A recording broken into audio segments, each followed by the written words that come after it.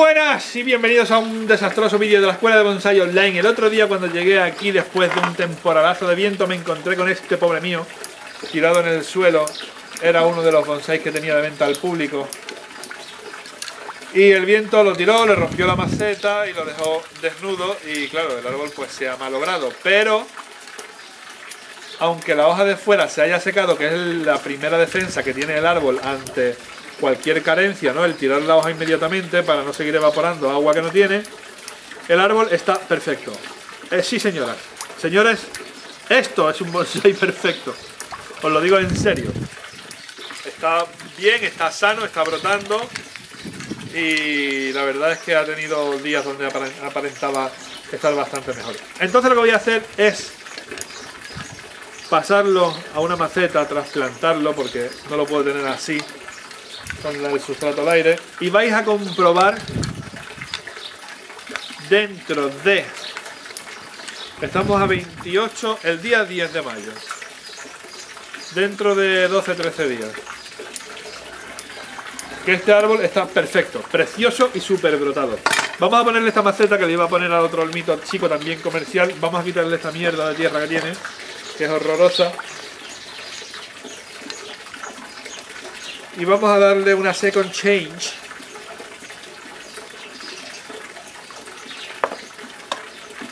A este bonsai que ha sufrido un percance. ¡Qué horror de tierra! Porque esto no es sustrato, esto es tierra.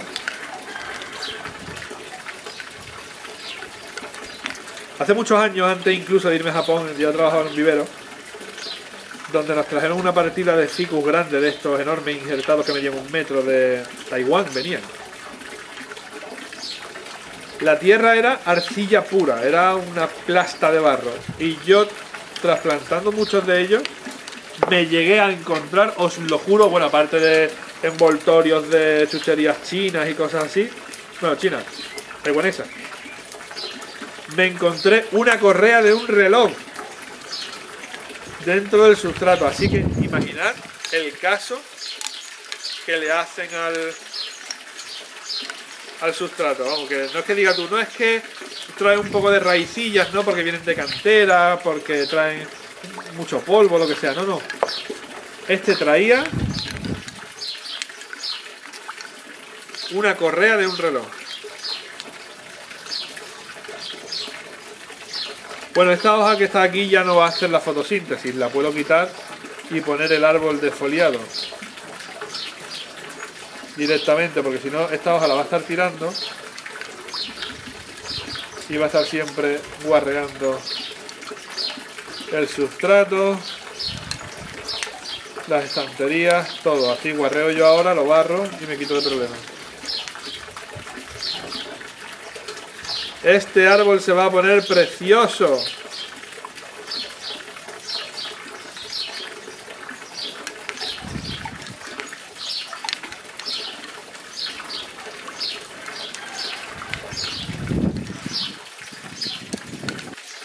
A quitarle toda la tierra que podamos de por aquí. Ahí. Vale. Mirad una cosa que he dicho ya varias veces y la repito y no me canso de repetirla. A esto no lo vamos a entrar. Es el tema de, de recuperar un bonsai enfermo. Cuando la gente empieza a decir que, oye, que hay que echarle aminoácidos, hay que echarle glucosa, hay que echarle, hay que echarle, hay que echarle. No hay que echarle nada. Un bonsai que lo ha pasado mal o que lo está pasando mal lo que necesita es sombra para que el... O sea, os voy a decir lo que necesita y por qué. Necesita sombra porque eh, al darle directamente los rayos del sol va a evaporar mucha agua y eso va a activar el organismo, por decirlo así, ¿no? la, actividad de la planta, forzando a que las raíces tengan que succionar y a la planta funcionar una marcha más forzada. La forma de relajar, por decirlo así, perdonadme por tanto decirlo así, pero es que es difícil de explicar para mí. La forma de relajar a la planta y desestresarla es tenerla en un lugar sombrío. No pasa nada si durante 10 días, 15 días no hace la fotosíntesis.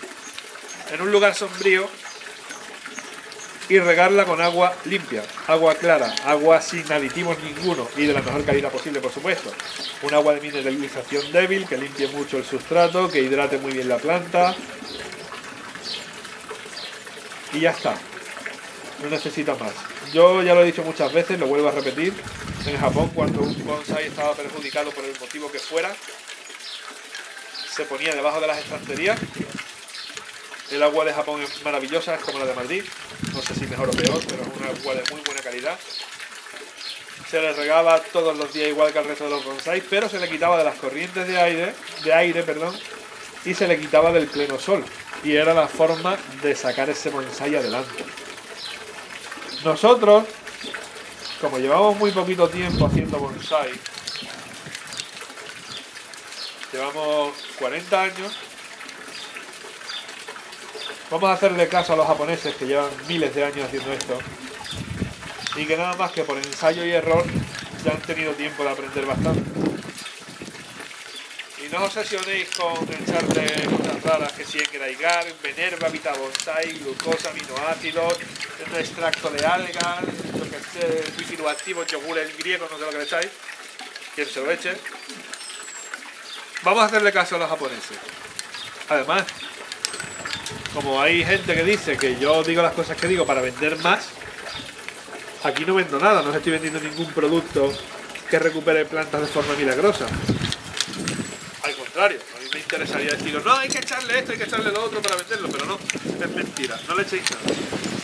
Agua, agua clara, sin aditivos. Si el árbol está afectado y le queréis echar agua de botella, si tenéis agua de mala calidad igual que yo, echarle agua de botella de mineralización débil. Lanjarón es una buena marca, aunque no me pague. Agua de mineralización débil y mantenerlo sombrío y alejado de las corrientes de aire y de los rayos del sol. Es la clave del éxito para sacar adelante un bonsai que lo ha pasado mal, como es este el caso, o que lo está pasando mal por el motivo que sea. Sobre todo si no sabemos por qué lo está pasando mal, la clave siempre es la misma y nos quitamos de problemas. Lo que voy a hacer es meterlo debajo de las estanterías en un sitio donde no le va a dar el sol y donde se va a regar todos los días abundantemente. Vais a ver, y me apuesto con esto.